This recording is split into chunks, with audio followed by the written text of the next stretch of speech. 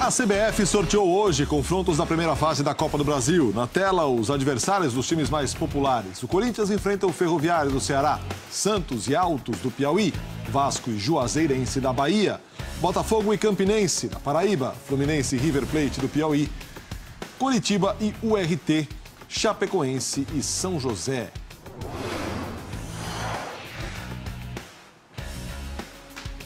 O Havaí encara o Real Desportivo de Rondônia, Bahia e Rio Branco do Acre, Vitória e Motoclube do Maranhão, Esporte e Tombense de Minas Gerais, Ceará e Central de Pernambuco, Goiás e Sergipe e América Mineiro e São Raimundo de Roraima.